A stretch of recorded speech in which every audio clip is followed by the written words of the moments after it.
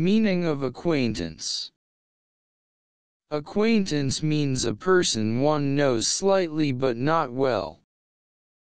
For example, Ms. Smith was embarrassed that she didn't know the name of the acquaintance who recognized her at the store.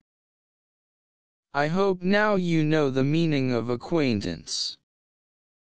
Thanks for watching this video till the end. Please like and subscribe our channel.